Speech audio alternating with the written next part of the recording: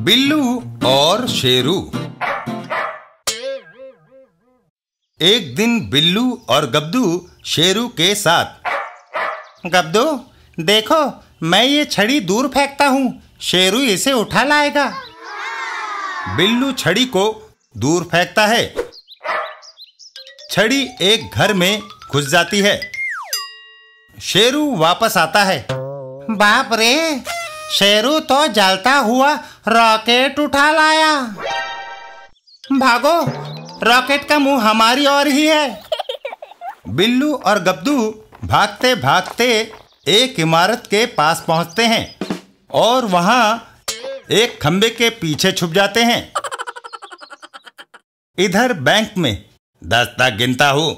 सारा रुपया मेरे हवाले ना किया तो गोली मार दूँगा।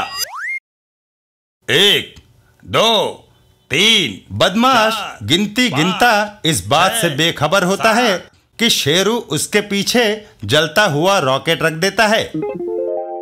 और रॉकेट अपने नियत समय पे उड़ान भरता है। आठ नौ इससे पहले की गिनती पूरी होती रॉकेट उस बदमाश पर टकरा जाता है। और हाय। बिल्लू आज तुम्हारे शेरू के कारण बैंक लूटने से बच गया।